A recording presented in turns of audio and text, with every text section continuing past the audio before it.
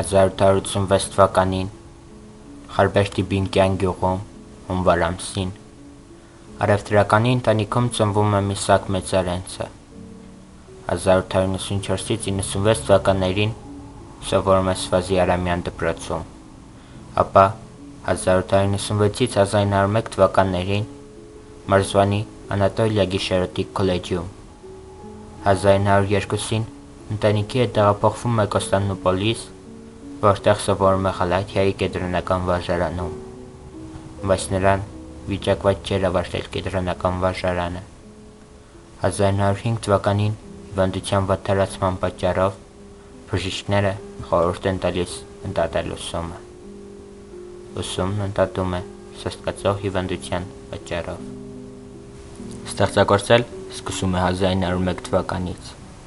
1903-ից սկսում է տպագրվել բարբերական մամուլում։ Աշխատակցել է արևմտահայ շատ հրատարակությունների՝ Մասիս, Հանրագիտակ, Արևելյան մամուլ, Լույս, Սուրհանդակ, Մանզումեի Էվքյար, Բյուզանդիոն։ Աշակերտական տարիներին չափածոփորձերը հավաքել է բողոքումներ Զարագիր տետրում։ Կենտանության օրոք 1907-ին Կոստանդնուպոլսում լույս է տեսել մեծարենցի բանաստեղծությունների երկու ժողովածու՝ «Ծիածան» և «Նոր տաղեր»։ Ուսումնառության տարիներին մեծարենցը ծանոթանում է հայոց պատմությանը, հայ և համաշխարհային գրականությանը, սովորում է ֆրանսերեն և անգլերեն։ Բեշիկտաշենից և Պետրոստուրիայից հետո մեծարենցը նորաստիճանի հասցրեց արևմտահայ պոեզիան, արտացոլեց տարասկզբի թուրքահայի կյանքի բարդ և հակասական պայմաններում ապրող ու տառապող առաքյավոր անհատի հարուստ ներաշխարհը։ Ընդդիմանալով սուլտանական ռեակցիային, ազգային եւ սոցիալական ճնշմանը, մեծարենցը ստեղծեց մասշտասիրական խոհերով կենքի ու բնության հերոսի կերպար, արտահայտեց դեմոկրատական խավերի երազանքը, արտադրության ու ներդաշնակ աշխարհի մասին։ Մեծարենցը բնության լավագույն երկիշներից է հայ պոեզիայում։ Բնության աստվածացումը նրան հանգեցրել է յուրօրինակ պանթեիստական ըմբռնումների։ Մեծարենցի աշխարհայացքի ստեղծագործության բնորոշ կողմերից մեկը նրա մասշտասիրությունն է, որն ունի որոշակիորեն արտահայտված դեմոկրատական բովանդակություն։ Հակադրվելով անկումային գրականության անմարդկային անձնաբանությանը, Մեծարենցը գտնում էր, որ բանաստեղծի կոչումը պետք է լինի սիրո, կթության եւ ազնասոյության քարոզը։ Նրա քնարական հերոսը երազում է անանձնական ուրախություն, որը նա պետք է պարգևի բոլոր կենտանի էակներին եւ առաջին հերթին բարձ մարտերուն, գեղջուկներուն ու բանվորներին։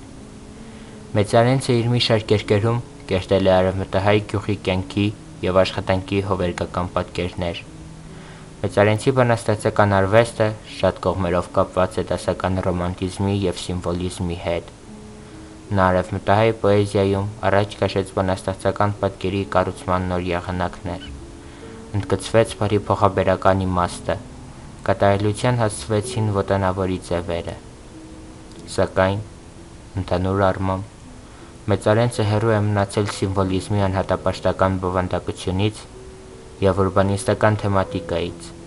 Նրա ստեղծագործության վրա մեծ ազդեցություն են թողել հայ միջնադարյան պոեզիան և ժողովրդական բանահյուսությունը։